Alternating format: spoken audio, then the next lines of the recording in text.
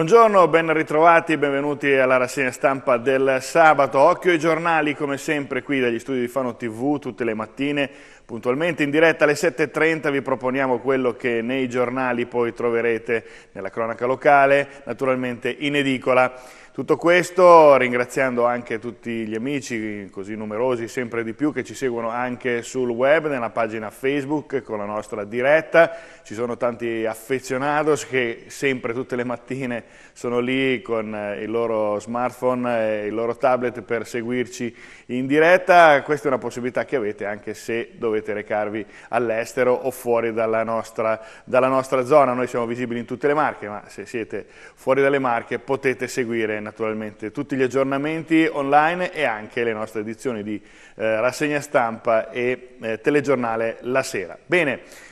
eh, i giornali sono pronti, sono lì sul eh, touchscreen, ma prima guardiamo naturalmente con ordine il santo del giorno e le previsioni del tempo. Sabato 17 marzo è San Patrizio di Armagh, il sole è sorto alle 6.16 e tramonterà alle 18.17. Vedete come le giornate si allungano sempre di più man mano che andiamo avanti nel calendario. Le previsioni per, per oggi, guardiamo sabato appunto il cielo sarà nuvoloso, parziali schiarite nel corso del pomeriggio, sulla fascia collinare e costiera però vedete compare la simbologia della pioggia e quindi le precipitazioni nella prima parte della giornata diffuse anche a carattere di rovescio e i fenomeni in attenuazione però nel corso del pomeriggio. Le temperature minime stazionarie e in lieve diminuzione eh, e massime eh, in diminuzione. Eh, minime stazionarie o in lieve diminuzione e massime in diminuzione. Ecco, l'abbiamo letta per bene la didascalia. I venti sono moderati sud-occidentali nelle zone interne. Nessun fenomeno particolare, anche per domenica, vedete la simbologia è molto eloquente, non compare neanche uno straccio di sole, il cielo è la didascalia salomonica, nuvoloso, punto non c'è altra speranza. Nella tarda mattinata sparse localmente anche a carattere di rovescio le precipitazioni in estensione nelle zone interne al resto della regione. Nella serata fenomeni in intensificazione sulla fascia costiera settentrionale, quindi insomma da noi eh, pioverà e pioverà parecchio anche come, come leggete. Temperature minime in diminuzione e massime invece stazionarie. Anche il mare sarà mosso, il mare sarà eh, particolarmente tenuto d'occhio dalla Marina Militare per l'operazione appunto che riguarderà eh, la brillatura dell'ordigno eh, che tutti sappiamo che cosa ha combinato la, la, settimana scorsa e il mare sarà, le condizioni meteomarine saranno determinanti lunedì mattina. E appunto questa è la previsione per lunedì mattina, cielo nuvoloso o a tratti molto nuvoloso per eh, l'arrivo di strutture comuniformi proprio dal mare, precipitazioni, rovesci temporali sparsi più probabili nel settore centro-settentrionale. Ricompare, vedete, la simbologia della, della neve che eh, arriva a quota 400 metri sul settore centro-settentrionale. Temperature in precipitazione, eh, precipitano in diminuzione sensibile anche, eh, venti moderati lungo la costa, però con raffiche fino a vento eh, fresco. Il mare sarà appunto, ahimè, molto mosso e questo non eh, semplificherà le operazioni degli incursori della Marina. Tendenze per i giorni successivi, i flussi eh, eh, nord-orientali favoriranno ancora residui condizioni nella prima parte della mattinata di instabilità. Appunto, questo è naturalmente quello che ci riserva il meteo. Ho, come dire, mi sono soffermato un po' di più sull'aspetto del mare perché eh, permettendo seguiremo eh, l'evoluzione eh, della vicenda legata alla bomba proprio lunedì mattina dal porto di Fano per eh, assistere proprio alle operazioni di, eh, di, brillatura di questo ordigno. Però tutto questo è condizionato dalle, appunto da, dalla visibilità in acqua, perché insomma, è un'operazione particolare, i sub dovranno scendere a 14, 13, 14 metri, ma se la visibilità sarà scarsissima non riusciranno ad operare in sicurezza e quindi Insomma, è un punto interrogativo. Teoricamente alle 9 di lunedì mattina scadono le 144 ore, quindi l'ordigno sarà in sicurezza, dopodiché dal di lì in poi ogni momento è buono per farlo esplodere e chiudere questa pagina così particolare di Fano. Andiamo nelle pagine dei giornali, apriamo la pagina del eh, Corriere Adriatico, nel, appunto nella pagina che riguarda l'inserto della provincia di Pesaro, controlli eh, insomma, nella piazza che era stata eh, definita eh, di nessuno, terra di nessuno, la fotonotizia è questa, controlli serrati eh, a Piazzale Matteotti, è tempo che l'amministrazione passi alle, eh, dalle promesse ai fatti, Baiocchi di Fratelli d'Italia e vedete una pattuglia eh, richiesta a gran voce dagli esercenti eh, contro ubriachi e molesti. Gli esercenti però chiedono un presidio, un presidio fisso. E poi in alto una notizia anche questa sul fronte della sicurezza che rassicurerà non poco tutti gli utenti dei mezzi pubblici contro bulli e scrocconi, autobus videosorvegliati. Il direttore dell'AMI dice vogliamo garantire la sicurezza di conducenti e passeggeri e poi in eh, fondo alla pagina eh, si uccide a 24 anni sparandosi al poligono di tiro di Apecchio. Il giovane si era eh, presentato all'impianto per la prima volta e la tragedia è in, eh, accaduta in mattinata. E vediamo però l'aspetto la, che ha riguardato anche, eh, ha riempito le pagine della cronaca fanese eh, questa, mh, mm, nelle, nei mesi scorsi, perché tutti si ricorderanno appunto il caso di quell'extracomunitario salito appunto sul mezzo bus dell'AMI, sulla linea 25, fanno calcinelli rompendo una bottiglia di vetro e minacciando i passeggeri, vi faccio vedere il colore del tuo sangue all'indirizzo dell'autista, poi qui l'articolo cita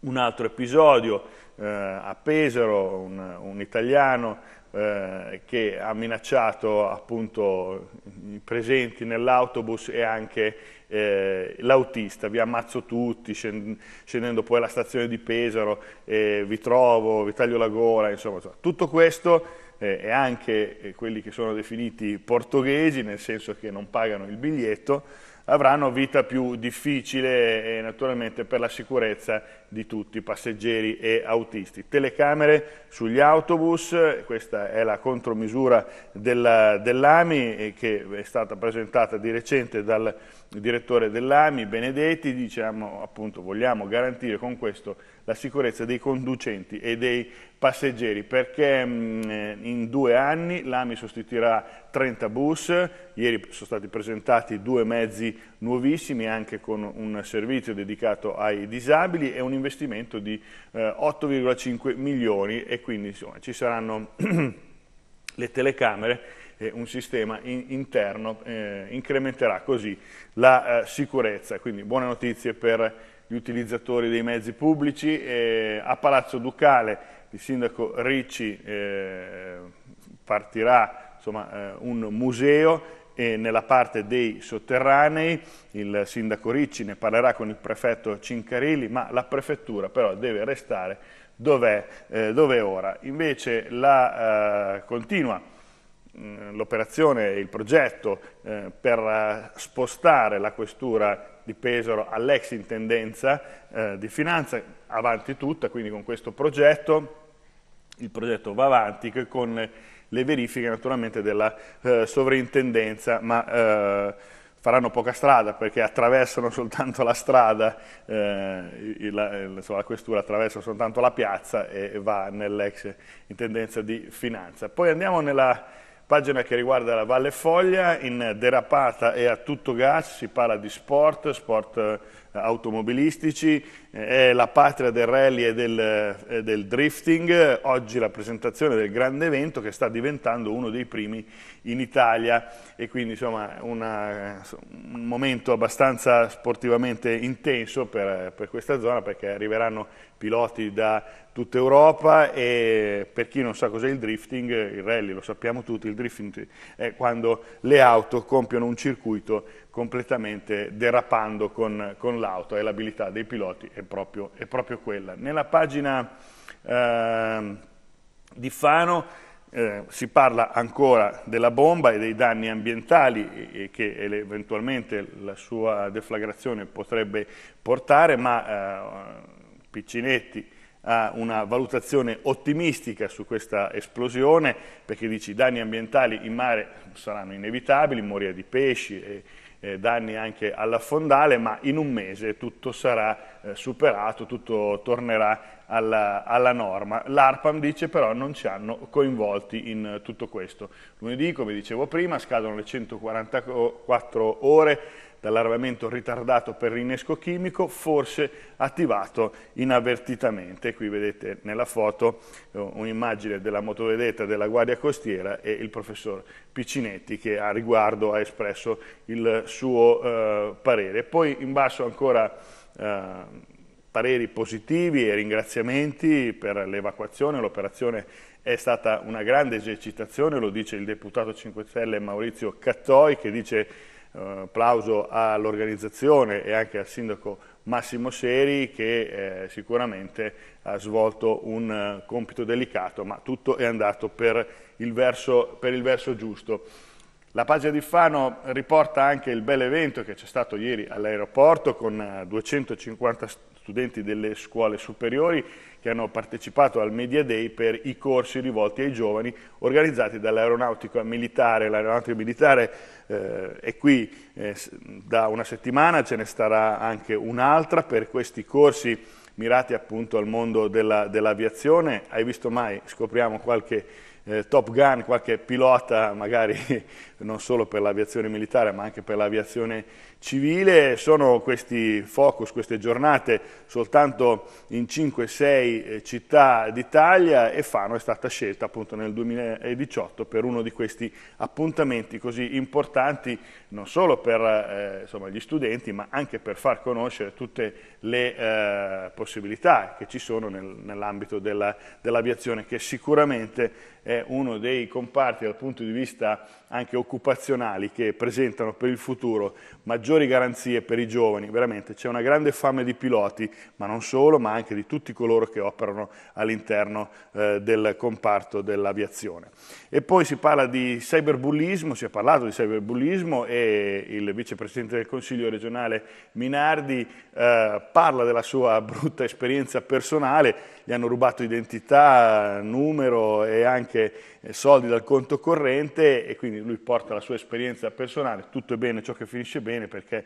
è riuscito a recuperare tutto quello che aveva, però insomma si è parlato di questo fenomeno in grande eh, espansione, soprattutto sommerso, il 5% dei ragazzini subisce adescamenti sulla rete, presente al convegno anche appunto Carl Cristina eh, Tedeschini, il procuratore capo che ha parlato di questi eh, risvolti della rete. E dalle Marche due fatti di cronaca nera molto cruenti, uno recentissimo, questa bambina gettata tra i eh, rifiuti eh, e la neonata ahimè è morta di fame e di freddo, effettuata l'autopsia per il medico legale non ci sono dubbi, ha vissuto solo in, in, un giorno e ora i carabinieri analizzano il percorso dei mezzi entrati in discarica per cercare appunto di intercettare, intercettare il punto dove la, la, la bambina, eh, la neonata è stata gettata nel cassonetto. Siamo a Ostra, nel eh, centro di stoccaggio dei rifiuti ingombranti dove è stato rinvenuto il corpicino, ahimè, senza vita della, della bambina. Un altro episodio, sempre cruento, sempre violento, strage e odio razziale traini in corte d'assisi, ve lo ricorderete, l'udienza è fissata per il 9 maggio a Macerata, era uscito di casa armato eh, di una Glock, di una pistola e ha sparato all'impazzata ferendo ben 11 eh, cittadini eh, stranieri, forse voleva mm, così col sangue lavare l'onta della, della strage effettuata poco prima eh, ai danni di eh, Pamela Mastropietro, adesso questo sarà da vedere per, per intanto insomma, il eh, raid dopo il, di, eh, il, ritrovamento del cadavere di eh, Pamela, ma insomma strage e odio razziale, questi i suoi capi d'accusa per eh, lui. Andiamo a Urbino, a Urbino si parla eh, di appunto quello che è stato il lancio nella prima pagina, shock al poligono, eh, chiede di sparare ma si uccide con un colpo di pistola. È successo a uno studente 24enne di Pergola che si era presentato per la prima volta all'impianto di Apecchio. Eh, Valcesano,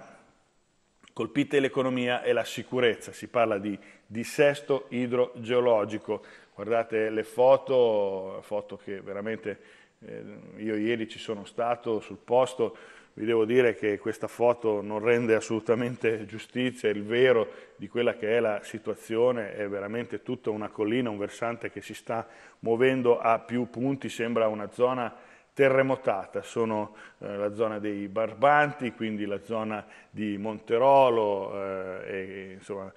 quelle di Serra Spinosa, il Belsio, Solfare, insomma zone interne eh, del Pergolese, ma che sono sicuramente abitate e frequentate, soprattutto ci sono strade di grande comunicazione e quindi colpite economia e sicurezza. Il sindaco Baldelli capeggia la protesta di, Pergola per lo stato di degrado delle strade provinciali. Due sono chiuse e due a una corsia, quindi quattro strade su cinque versano in pessime condizioni, dieci anni di abbandono eh, lui dice pronti a mobilitare anche la popolazione. Qui c'è un'altra foto, eh, cerco di allargarla il più, il più, possibile, si riferisce proprio a ieri, vedete qui c'è questo crinale qua, la strada è arrivata qua, ci saranno un metro e mezzo di dislivello, qualcosa di veramente, sembra, sembra un terremoto quella zona.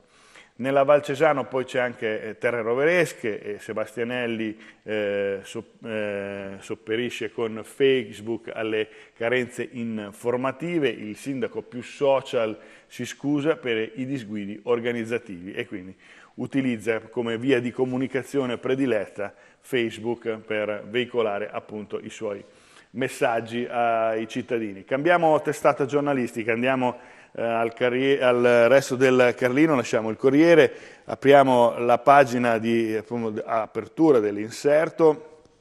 che eh, riporta un episodio accaduto in tribunale a Pesaro, un'asta con brivido perché padre e figlio e due figli bloccano per due ore il tribunale, c'era in atto la procedura della vendita della sua casa. E poi ennesimo raggiro ai danni di un anziano, una badante, gli spilla 100.000 euro in quattro anni, spennato, lui 94 anni, che nel frattempo poi è morto, diceva è l'unica che mi vuole bene e lei voglio stare solo con te. E insomma ci credo, eh, a questo punto gli ha portato via 100.000 euro, ci credo che ci voleva stare.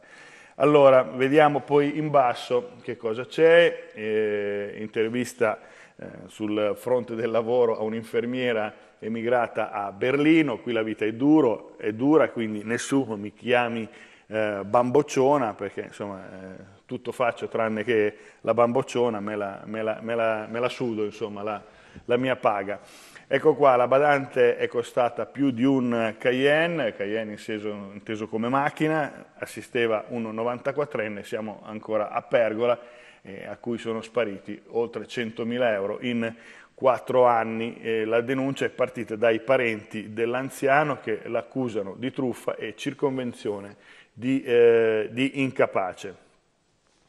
Andiamo poi a vedere la pagina eh, che riporta comunque anche qui nel Carlino la, la, la, presentazione dei nuovi bus videosorvegliati da, parti, da parte del, dell'AMI, appunto contro bulli e violenti. L'AMI presenta in piazza due nuovi mezzi dotati anche di eh, telecamere, ma non solo, ci sono anche le pedane per i disabili, facilitate anche le, le mamme, naturalmente con carrozzine oppure in, in stato di, eh, di gravidanza. L'autista eh, parla del della sua esperienza, che dice è capitato che ci siamo trovati in difficoltà con furbetti che non pagavano il biglietto, quindi dopo attimi sicuramente concitati tra loro e il controllore che è lì per fare il suo lavoro e giustamente recrimina quello che è il dovuto, ma questo innesca sempre, ha innescato sempre purtroppo anche reazioni violente da parte di qualcuno. Duro lavorare all'estero, eh, altro che bamboccioni, questa è l'esperienza di Carlotta con gli occhiali, una sua amica eh, infermiera pesarese a Berlino, racconta la dura vita di quelli che stanno all'estero e di chi lascia la città e parenti per eh, andare a trovare lavoro all'estero. Leggete l'intervista perché è molto bella e parla soprattutto degli italiani che hanno dovuto sempre combattere con l'immigrazione anche ad oggi. Mezza città in volo con l'aeronautica, siamo a Fano, tra le nuvole anche Seri, Trasarti e i politici, iniziativa pensata con le scuole per coinvolgere naturalmente i ragazzi, vedete questi sono i mezzi eh, sui quali hanno eh, volato eh, ieri, naturalmente giornalisti, politici, rappresentanti eh, delle forze armate, insomma di tutto e anche poi prenderanno il volo gli studenti stessi la prossima settimana. Vedete qui il sindaco eh, Seri e il vicepresidente Renato Claudio Minardi proprio nella mattinata di ieri. Fiore all'occhiello, il sindaco dice finalmente ora intorno al nostro aeroporto c'è il clima giusto e sereno che ci doveva sempre, sempre essere. Bene, eh, andiamo a una pagina che riguarda il cordoglio per eh, la scomparsa del notaio De Martino, un, un, grande professionista, lunedì ci saranno i funerali, il ricordo di amici e eh, colleghi. E poi eh, chiudiamo con l'ultima pagina che riguarda appunto anche qui sul Carlino le strade, eh, ahimè, veramente eh, devastate di Pergola, appello del sindaco Bardelli, dice 600 persone isolate, aspettiamo interventi urgenti e hanno anche chiesto lo stato di calamità naturale. E, e poi eh, a Mondavio il dolore del figlio di Bracci che dice ciao ba, ora dacci la forza di eh, vivere. Commozione naturalmente nella chiesa, alla folla che ha partecipato ai funerali di Angelo Bracci morto sul lavoro. Questa era l'ultima pagina che vi leggevo, grazie per essere stati in nostra compagnia, grazie per aver seguito la nostra rassegna stampa che torna naturalmente lunedì mattina puntualmente alle 7.30, qui c'è in sovrimpressione il nostro numero di telefono 338 4968 250, ormai dovreste averlo memorizzato anche sul telefonino oltre che mentalmente per poterci mandare le vostre segnalazioni, sempre importantissime per noi. Grazie e buon fine settimana a tutti voi.